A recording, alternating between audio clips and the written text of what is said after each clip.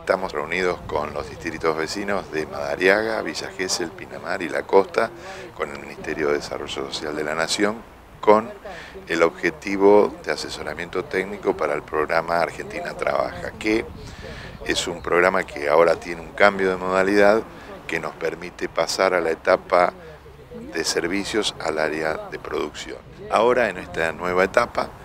el Ministerio provee los fondos para que cada municipio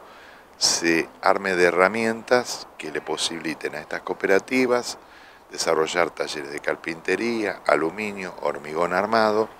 para en primera instancia proveer al propio municipio de estos insumos, pero también abierta la posibilidad de comercialización al vecino, a la empresa y al local. Por eso decimos que es un, salto